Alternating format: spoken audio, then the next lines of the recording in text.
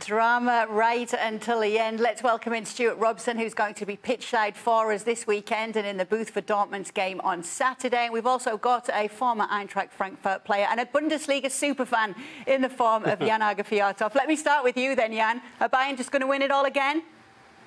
Well, we always used to say that Bayern are their worst enemy, and then we tried that version last season, that being their worst enemy. So now we got to manage to lose the championship, won't we? Bayern said no. Then Dortmund decided we don't win at home against Mainz, where we've been so good all season. So then they sent the trophy to Bayern, and yes, I think Bayern will win it again because it's not only Harry Kane, they've got a striker one year too late, but they got a great defender in, in Kim. They got a great midfielder in Laimer. If they now sort out their keeper position, they could win it before Christmas, couldn't they, Stevie?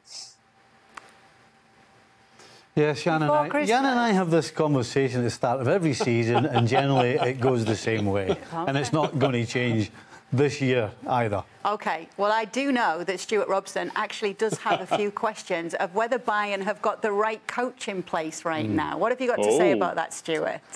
Uh, well, when he took over from Nagelsmann, uh, everybody thought that Nagelsmann wasn't going to win the Bundesliga. They thought they weren't going to go too much further in the Champions League, and they had to make a big decision. And they brought in Thomas Tuchel, and he won the first game against Dortmund uh, uh quite comfortably. They were, think they were 3 0 up after 20 minutes. But since then, and I think they were lucky to win the title last year, Dortmund gave it to them in that last game.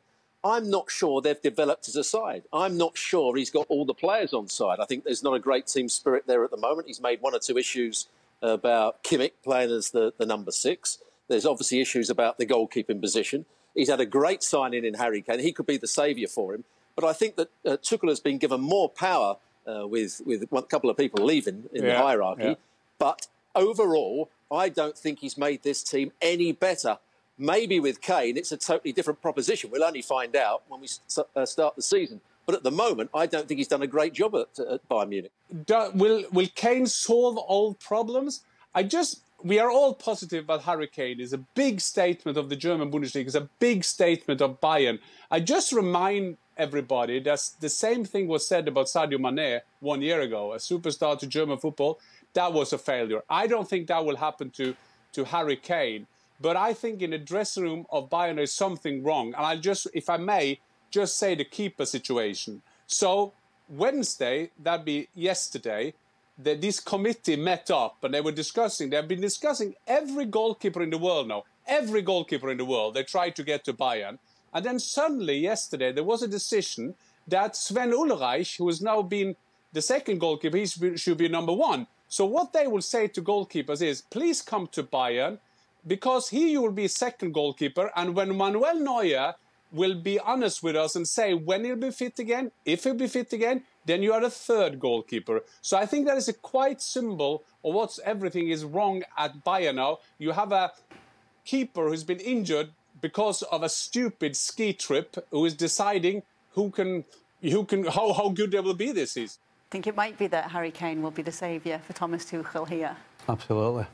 Yeah, I mean you know, was talking about there's a, he thinks there's a problem in the dressing room. When you sign three players like Laimer Kim and Harry Kane, it sort of it sort of blows a lot of the cobwebs and a lot of the gloom and doom that may have been in a dressing room, and particularly on the field as well. You know, everybody gets an extra, an extra little pep in the in the in their step. And for me, there's no question, Kane's going to score goals. And one of the problems last year, particularly towards the end of the season when Tuchel came in, he always complained about how they were in total control of a game, and then and then from nowhere they would lose goals. Well, with Harry Kane, when you're in total control of the game, you're going to score goals because they didn't have a centre forward. And goals completely change games, and they completely change a team. They change the way a team thinks.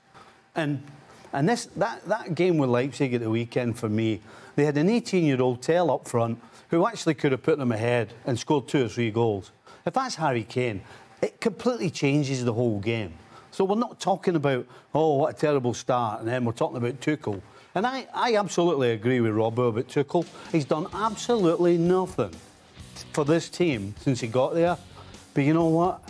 When, your when your bosses go and sign Kim, Laimer, and then Harry Kane, I tell you what, mm, it, it, there's not a lot of coaching needs doing because these because these three are going to change this team big time. Uh, Thomas Tuchel absolutely wanted Harry Kane in this side as well, Robbo, this season, and he's just been waxing lyrical about him since he's joined as well, even apologising to Harry Kane about that loss last weekend.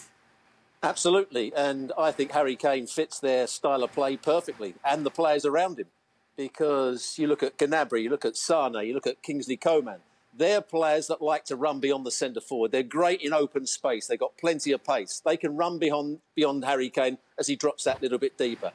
Musiala is a clever footballer. He wants to play little one-twos in and around the box. Who's better to play little one-twos with than Harry Kane? I think he his style of play, him as a person, him as a player, fits the other players in those front positions perfectly. It's, it's a great fit. Like, talking about fits, obviously Lewandowski was let go, Jan. Is it, is it interesting to you to see that Kane's come in to a role that Lewandowski was essentially playing just a couple of seasons ago? Yes, uh, and you can't compare them because you feel that Harry Kane can play as a number 10, he can play as a nine and a half, he can play a nine. And but I will say that, and I'm one of the biggest fan of Lewandowski around, but I will say that he, Harry Kane is even a, even a more team player. I think that Harry Kane can make his teammates even better, as Robbo was talking about. I think there's a lot of these young players around, especially Musiala. I can imagine in three, four, five years' time, he will say, the years I had with Kane made me a better player. Lewandowski was a team player, but he loved scoring his goals as well. I mean, that was very, very important for him, as it is for Harry Kane. But you just feel that he maybe is a more team player. And another thing, just to add to what Robbo said about that position is that, or now Stevie was talking about, if, if you get that 1 0, the 1 0 goal scorers should never be overestimated. They are so important. And you can have strikers, but you can have strikers who score goals, but you need strikers who can score that massive 1 0 because then the game open up and, and the teams look more comfortable. And Bayern didn't have that last year, and that's why one of the reasons why they were struggling and also conceding goals. And with Kim, now they got one of the best around. So they've had a good transfer window, Bayern. Let me just stick with you, Jan, if I can, because obviously you've talked about the boost that Kane is for Bayern, but how big a boost is he for the Bundesliga? Oh, massive. Uh, imagine, I mean, that is a lot to do with self-confidence because because of the 50 plus one rule, meaning that they can't even have those kind of investors. They don't have the resources that a lot of other or some other leagues have. And Haaland will be taken away from them. Sancho's been taken away from them by the Premier League.